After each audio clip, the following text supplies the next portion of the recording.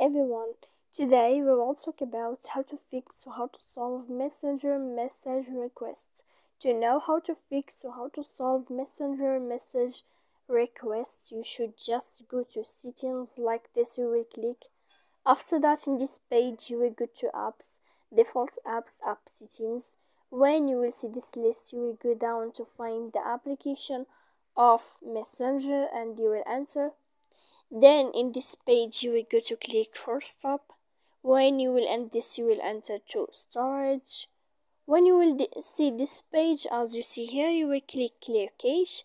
Then you will go to click clear data. And after all that when you will end this you can turn off your phone.